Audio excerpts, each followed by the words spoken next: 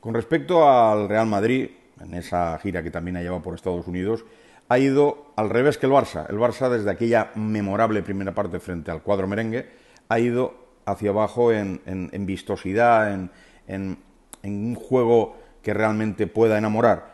Y el Madrid ha ido del desastre contra el Barça un poquito hacia arriba, que ayer lo culminó frente a la Juventus haciendo un gran partido. Hay que reconocer las cosas como son, pero evidentemente yo después de todo lo que ha vivido el Barça en los últimos tiempos, veo que esta pretemporada Xavi lo está haciendo muy bien. Ya le han puesto los jugadores que él ha pedido, prácticamente todos los que ha pedido. Otros pueden llegar, pero con lo que tiene, tiene equipo suficiente como para poder ser competitivo. Por lo menos en la Liga, Copa, Supercopa a nivel nacional. No tengo ningún tipo de dudas. Otra historia es la Champions. Pero bueno, también tiene equipo para competir. Yo este año el Barça lo veo con un equipo muy superior al de las últimas temporadas. Qué pena que no esté Messi. Ya sé que alguno me dará caña y me dirá, ah, otra vez hablando de Messi, pues no, no sean hipócritas, porque hace poco ha salido la noticia de que el señor Laporta está buscando la fórmula de que Messi vuelva y dentro de ese volver muchos que estaban hace poco diciendo que ya era pasado Messi, que no querían saber nada de Messi, ahora lo ven bien. No sean hipócritas. Aquí, más de Messi que yo y que los que realmente queremos a Messi, no se van a subir al carro los que ahora intentan hacerle la pelota a su jefe, el señor Laporta. No lo van a conseguir.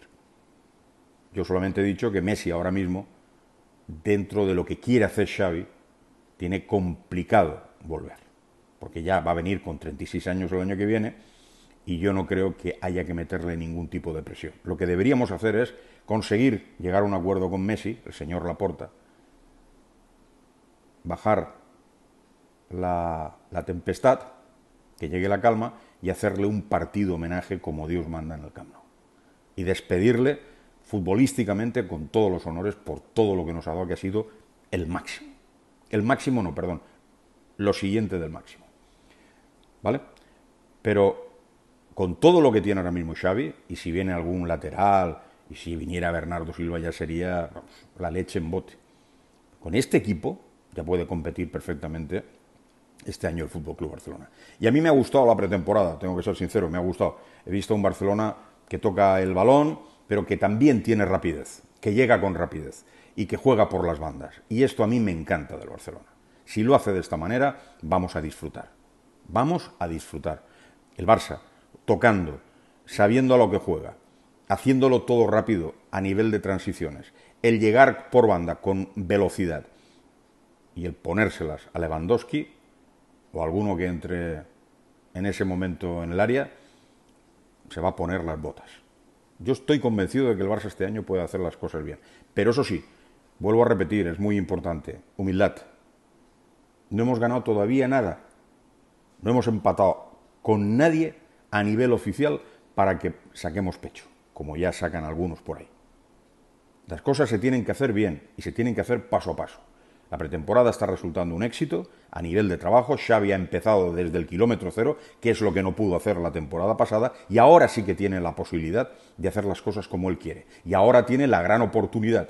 Todo lo que no sean éxitos y campeonatos será un fracaso para él. Y yo le deseo todo lo mejor porque si ustedes tienen memoria, para esos que están siempre a ver qué digo, a ver qué dejo de decir, yo he sido de los que siempre he pedido que Xavi sea entrenador del Barcelona.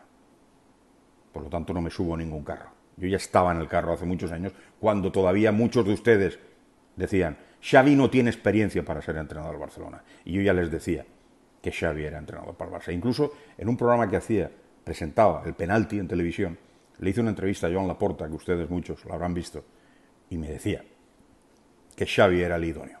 Luego ya se enfadó porque le hizo un guiño a Fonte en las pasadas elecciones y luego ante la situación que Kuman estaba teniendo con el equipo tuvo que traerlo de prisa y corriendo. Pero yo siempre he apostado por Xavi en el equipo y le deseo lo mejor, pero también le digo que esta vez no puede fallar. Ahora ya no hay excusas. No hay red en lo económico, no hay red en lo deportivo. O salen bien las cosas o habrán problemas. Y esto es una puñetera verdad. A mí me gusta decir las cosas como son. Yo sé que hay gente que quiere eh, pan y circo, goles, victorias, lo demás, eh, el campo, no sé qué, el tema económico, ¿qué más da? Eso, que... claro, aquí todo, todo, todo funciona con humo y, ya está. No, hay que, hay que ser sensato y hay que pensar que para que el Barça sea campeón se tiene que hacer todo bien desde el principio, desde la base. Tiene que ser todo sostenible. Y esto es lo que yo le pido al señor Laporta. Lógica. Y ha hecho muchas cosas que generan muchas dudas a los barcelonistas de verdad.